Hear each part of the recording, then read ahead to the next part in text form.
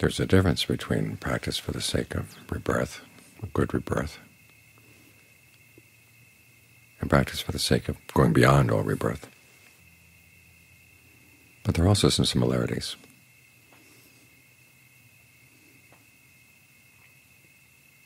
The Buddha talks about four qualities that are conducive to a good rebirth.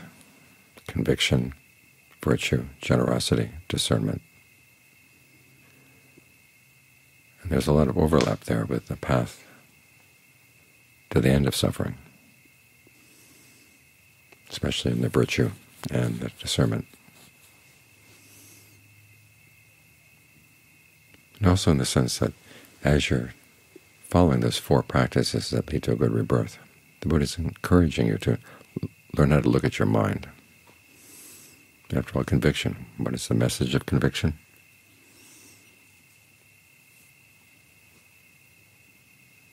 Think about the Buddha's three knowledges on the night of his awakening. The first two knowledges have to do with rebirth. And the important message was that they were fueled by karma. Where you went was determined by your actions. And your actions were very complex.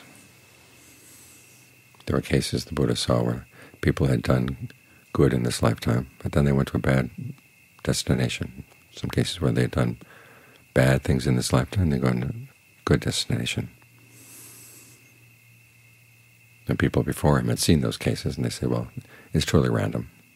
Your actions have nothing to do with your destination. But he looked more carefully. And he saw those people had other actions in their previous lifetimes or in times before those actions in this lifetime or after those actions in this lifetime, or they changed their minds at the moment of death. In other words, people who had done bad things suddenly developed right view at the moment of death and vice versa. Those who had done good things slipped off into wrong view.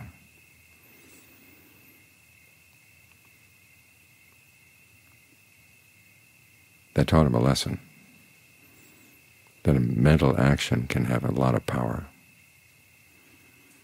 And what, what you do in the present moment can have can fight against a lot of things that you've done in the past. That's an important lesson to keep in mind.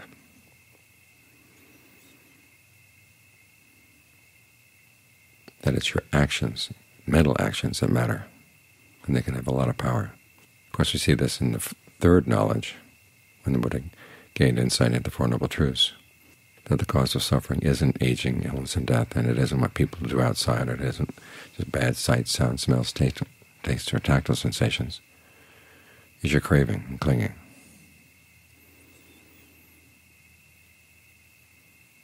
The big issue is inside. So if you really have conviction in the Buddha's awakening, it means you have to focus on your mind, because the mind in the present moment has a lot of power. Same with the principle of virtue. When you take the precepts,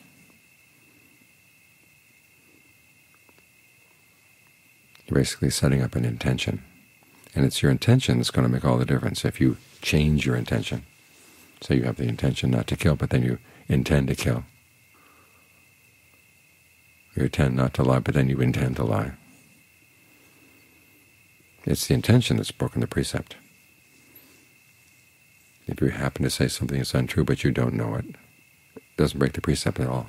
You step on some bugs without knowing it, you don't break the precept. So the fact that you've taken the precepts keeps directing your mind back to observing itself. What is it doing right now? Our problem is we get so entangled in sight, sound, smells, taste, tactile sensations, we forget to observe the mind that's going after these things. I think I've told you about that time a monk from Bangkok came to stay at Wat Dhammasathit. There was one evening when the, the sunset was particularly nice. The sun was low in the sky, it was golden, sending shadows across the fields. And he commented, the place is really, really not bad. It's really beautiful. Then Ajaan Fuang immediately said, well, look at what's saying that it's beautiful. That's the important thing right now.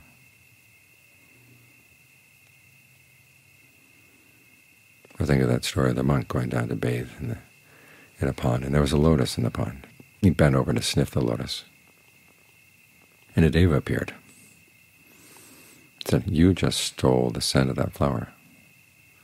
And the monk's immediate reaction was, oh, come on, that's not stealing. And the deva said, if you're really intent on gaining freedom, you have to see even the slightest fault as, as huge as a cloud. The monk came to his senses. He said, well, thank you very much. If you see me making any other mistakes like that, please let me know. And she said, well, I'm not your servant. You're looking after yourself. And she disappeared. And her point is right. He should be looking after his own mind.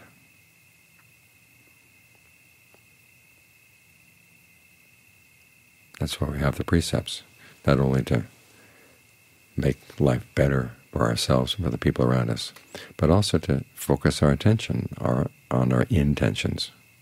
What do we mean to do? That's the difference between breaking a precept and not breaking a precept. Similarly with generosity.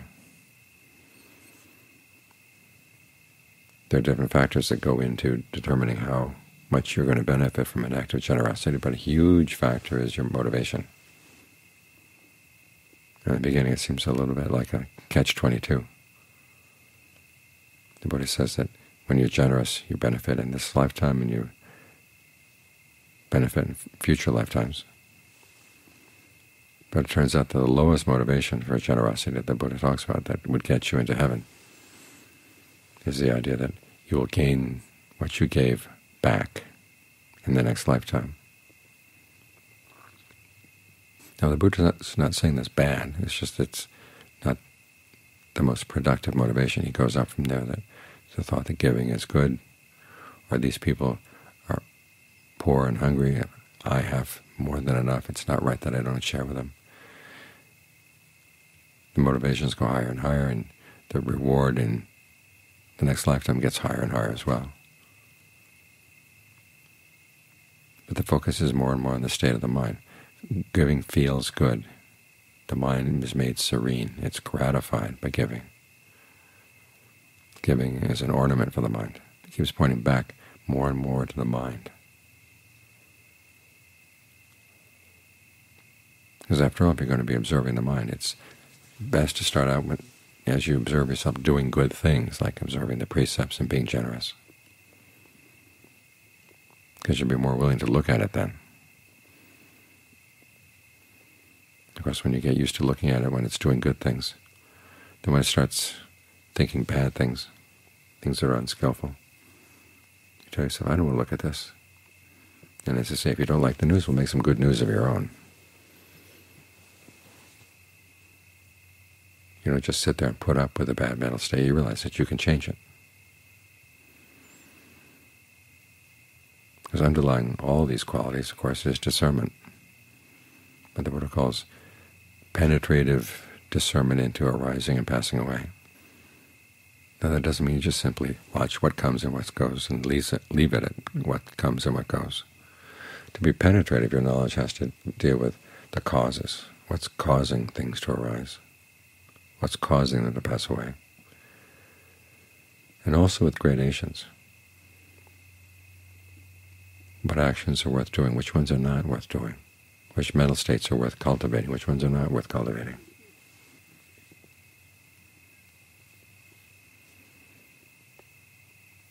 So if you get used to living your daily life like this, looking at your intentions, looking at the mind,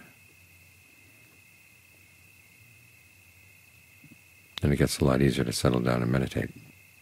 And when you're meditating, you have the alertness to watch the mind, to make sure that it stays with its object. and having that ability to step back and observe yourself will serve you in good stead. It's, it's that ability that allows you to improve your concentration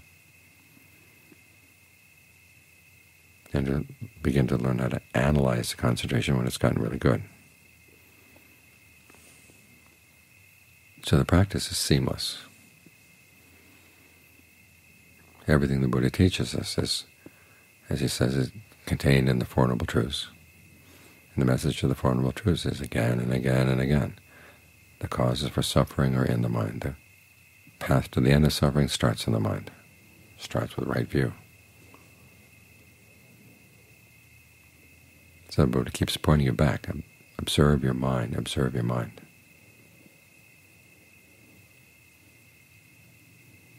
That's how you grow in the Dharma.